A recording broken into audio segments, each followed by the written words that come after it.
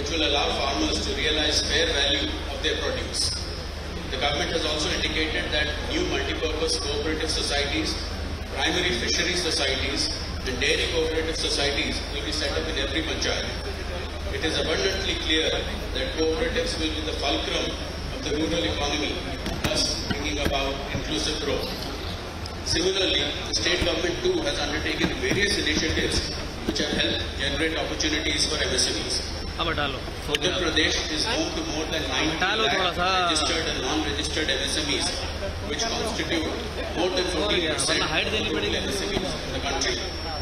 Manufacturing MSMEs in Uttar Pradesh cut across a range of sectors and contribute about 60% of the industrial production of the state, besides Bas bhai. providing significant employment opportunities. Initiatives such as One District, One Product, with which Vicky was closely associated,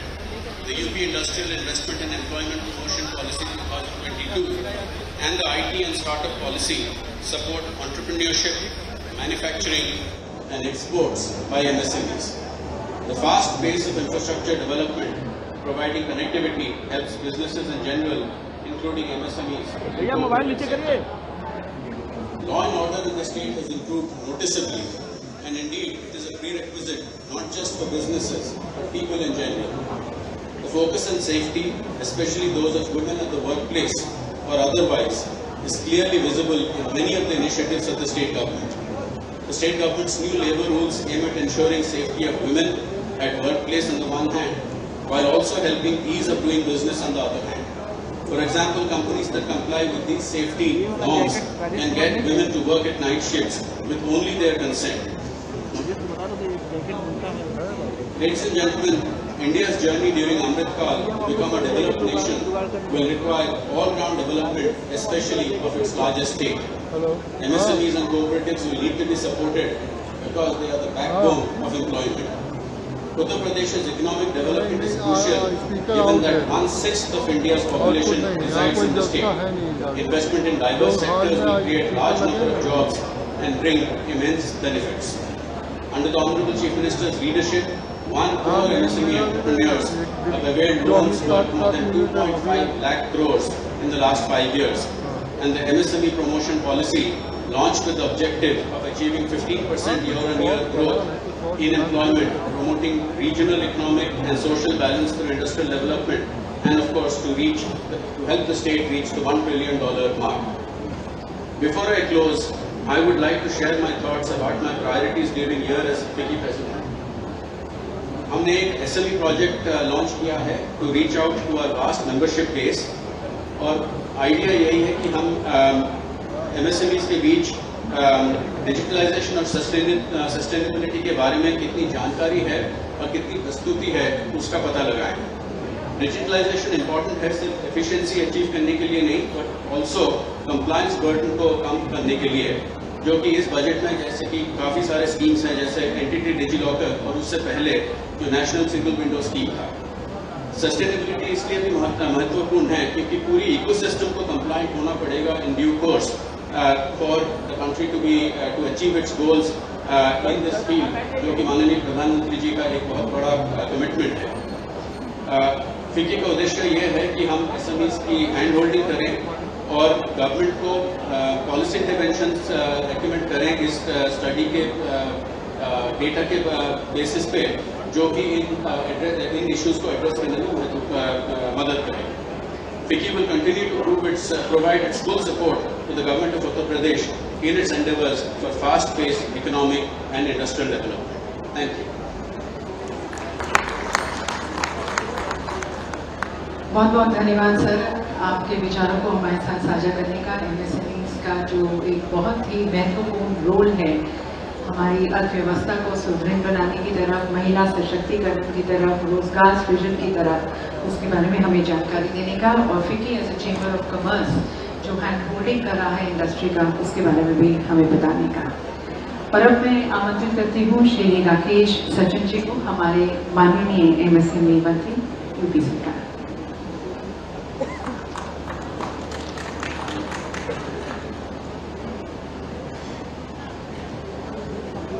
आज हमारे इस कार्यक्रम में पधारे भारत सरकार के यशस्वी केंद्रीय मंत्री, हम लोगों के मार्गदर्शक आदरणीय अमित शाह जी, हमारे मंच पर हमारे मुखिया, उत्तर प्रदेश के यशस्वी मुख्यमंत्री और 24 करोड़ लोगों की जवान आदरणीय योगी आदित्यनाथ जी, हमारे बीच में हमारे जो उप मुख्यमंत्री हैं ब्रजेश पाठक जी, हमारे जयंत प्रताप सिंह राठौर जी, जो सहकारिता मंत्री हैं, प्रदेश अध्यक्ष हमारे भूपेन्द्र चौधरी साहब, जो हमारी भारतीय जनता पार्टी के मंच पर, हमारे Durga Shankar Mishra ji, chief secretary DGP साहब, और हमारे मंत्री परिषद के बड़े वरिष्ठ सहयोगी यहाँ पर बैठे हैं। नाम लूँगा मैं, बहुत समय जाएगा, फिर भी होगा कि इस सेशन में सभी मंत्रिपरिषद के हमारे वरिष्ठ मंत्री यहाँ पर उपस्थित है। जतिपाल नंद गोपाल नंदी जी, संजय निषाद जी, अनिल राजभर जी, जया वेंकट जी, नितिन अग्रवाल जी, जयंत सैनी जी, दिनेश प्रताप सिंह जी, गिरीश चंद जी, आशीष पटेल जी, दयालु जी रविंद्र जायसवाल जी सूर्य प्रताप शाही जी और संदीप सिंह जी, कपिल देव अग्रवाल जी और संजय अग्रवाल जी से लेकर के और जो नाम छोटे और बहुत सारे हमारे जो इस अभियान में आदरणीय प्रधानमंत्री जी के विजन और माननीय मुख्यमंत्री जी के कुशल नेतृत्व में जो ये आयोजन हो रहा है, इस महाकुंभ में पधारे हमारे सभी अतिथि व निवेशकों का मैं हार्दिक स्वागत और अभिनंदन करता हूँ कि आज इस कार्यक्रम में हमारे बीच में पधारे हैं। मैं विशेषकर माननीय मुख्यमंत्री जी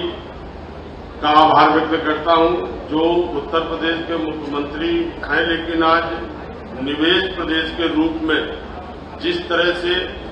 आज जब से आपने इस इन्वेस्टर समिट के आयोजन का सोचा और पूरे मंत्रिपरिषद के समूह बना करके सभी को 19 देशों में भेजा, वहाँ से जब आपने समीक्षा ली और जो उत्साह जब से मानी प्रधानमंत्री जी की अगुवाई में इस देश की कमान है तो जो हम लोगों को भी अवसर मिला बाहर जाने का तो जो उत्साह, उमंग वहाँ से मिली और जो निवेश के प्रस्ताव मिले तो पहले 10 लाख करोड़ के लक्ष्य को बढ़ा करके आपने 17 लाख किया और आज इसमें कम से कम 34 लाख करोड़ के प्रस्ताव, जो आपने कहा बत्तीस लाख इक्यानवे हज़ार के प्रस्ताव आज निवेशकों के आए हैं। इससे आज उत्तम प्रदेश, सर्वोत्तम प्रदेश की ओर बढ़ गया है। एमएसएमई सेक्टर बहुत महत्वपूर्ण सेक्टर है। हमारे उत्तर प्रदेश में 90 लाख एमएसएमई की इकाइयाँ हैं और 90 लाख इकाइयों में लगभग एक करोड़ लोगों को रोज़गार मिला हुआ है और लगातार जिस तरह से हमारे बीच में एमयू हुए हैं, हमारे ऑनलाइन जो हमारे पास आए हैं, अब तक आठ हज़ार आठ सौ छप्पन कंपनियों ने एमयू किया है और एक लाख चालीस हज़ार करोड़ एमएसएमई सेक्टर में एमयू प्राप्त हुए। ये बहुत ही सराहनीय हमारे आप सभी लोगों का सहयोग जो मिला है। मैं आप सभी का आभार व्यक्त करता हूँ। मैं उम्मीद है कि जिस तरीके से हमारे मुख्यमंत्री जी के नेतृत्व में उत्तर प्रदेश की सरकार चल रही है और जिस तरह से ज़ीरो टॉलरेंस की कानून व्यवस्था इंफ्रास्ट्रक्चर चाहे हमारे जो सड़कों का जाल हो, चाहे हमारे जितने एक्सप्रेस वे हो, Purvanchal expressway, Bundelkhand expressway, और जिस तरह से डेडिकेटेड कॉरिडोर का जो सीधे समुद्र से जुड़ना और उसमें कानपुर से लेकर के जो एक हब पूरे उत्तर प्रदेश में बना हुआ है तो चाहे एयरपोर्ट जितने भी अयोध्या से लेकर जेवर एयरपोर्ट या अंतर्राष्ट्रीय हवाई अड्डे जिस तरह से चारों तरफ़ डेवलपमेंट हो रहा है इंफ्रास्ट्रक्चर का, चाहे रोड कनेक्टिविटी हो, चाहे रेल कनेक्टिविटी हो और चाहे एयर कनेक्टिविटी हो, और ये 24 करोड़ का प्रदेश संभावनाओं का प्रदेश है, और लगातार जिस तरह से निवेशक उत्तर प्रदेश में आ रहे हैं, और जिस तरह से पूरी मजबूती के साथ निवेश करने का मन बना चुके हैं और हम लोगों ने जो 25 पॉलिसियाँ अभी मंत्रिमंडल में पास की है और जिस उत्सुकता से उन पॉलिसियों को हम लोगों ने, जब वो नेट पे भी है, लोगों को जानकारी है कि कितना लोगों को उससे लाभ होने वाला है। एमएसएमई की पॉलिसी जिस तरह से सूक्ष्म के लोगों को हम लोगों ने 25 परसेंट सूक्ष्म में कैपिटल सब्सिडी और चार करोड़ तक का जो इन्वेस्ट करने उसमें डायरेक्ट सब्सिडी कैपिटल हम लोगों ने 10 से 25 परसेंट तक देने का काम किया है। और जिस उत्साह से लोगों ने तमाम हमारे व्यापारिक संगठन, चाहे आईआईए के लोग, या लघु उद्योग भारती के लोग भी हैं, हम लोगों से मिले जो सुझाव उन लोगों ने दिए, वो हम लोगों ने अपनी नीतियों में समाहित किया। माननीय मुख्यमंत्री जी ने सारे सुझावों को इस नीति में रखा। है पहली बार ब्याज में भी सब्सिडी देने का काम, सूक्ष्म इकाइयों को बढ़ावा देने के लिए 50 परसेंट ब्याज में छूट देने का काम पहली बार योगी सरकार जी ने किया है, जिससे तमाम हमारे